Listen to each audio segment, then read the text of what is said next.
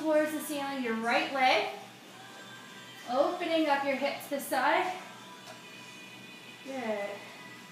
Bending your, your knee, bringing your foot to your glute.